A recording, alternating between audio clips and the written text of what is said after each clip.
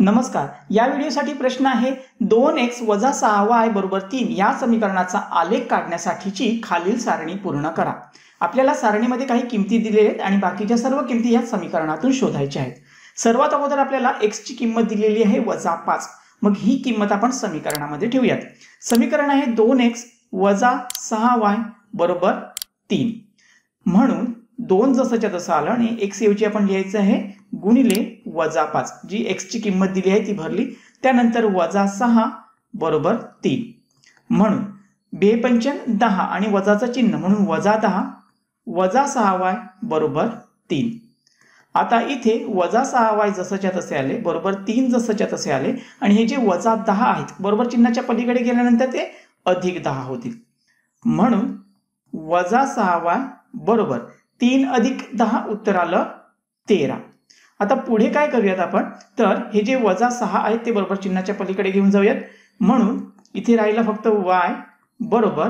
हे तेरा जसेच्या तसे आले आणि हे जे वजा सहा आहेत ते बरोबर चिन्हाच्या पलीकडे गेल्यानंतर काय होईल? इथे गुणाकार आहे तिथे गेल्यानंतर भागिले होतील. तर सहा आपण इथे लिहूयात आणि वजा चिन्ह पुढे लिहूयात.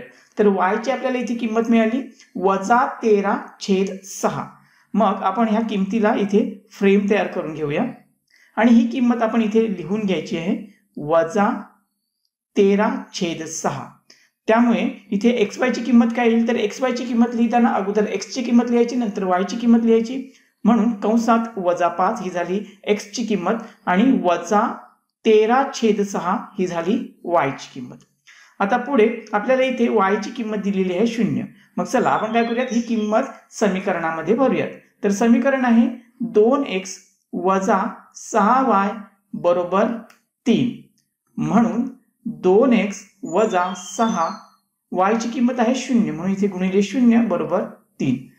म्हणून दोन एक्स आता बघा कोणत्याही संख्येला शून्यने गुणाकार केला उत्तर शून्य येतं. म्हणून हा गुणाकार आपण शून्य आला तो लिहिला नाही तरी चालेल. त्यामुळे डायरेक्टली बरोबर तीन लिहूयात म्हणून एक्स बरोबर हे तीन जसे तसे आले आणि हे जे दोन आहेत ते बरोबर चिन्हाच्या पलीकडे गेल्यानंतर छेदाच्या ठिकाणी जातील. म्हणून एक्सची किंमत इथे मिळाली तीन छेद दोन. तर इथे लिहायचं आहे तीन छेद दोन आणि इथे एक्सची किंमत मिळाल्यामुळे आपण एक्स वायची किंमत लिहू शकतो. तर अगोदर लिहायची एक्सची किंमत तीन छेद दोन कॉमा शून्य जी वायची किंमत आहे. तर बघा अशा पद्धतीने आपण ही सारणी पूर्ण केलेली आहे. जर हा व्हिडिओ तुम्हाला समजला असेल तर या व्हिडिओला आठवणीने लाईक करा आणि आपल्या चॅनलला सबस्क्राईब करून ठेवा. तर भेटूयात नवीन व्हिडिओमध्ये. तोपर्यंत काळजी घ्या. थँक्यू.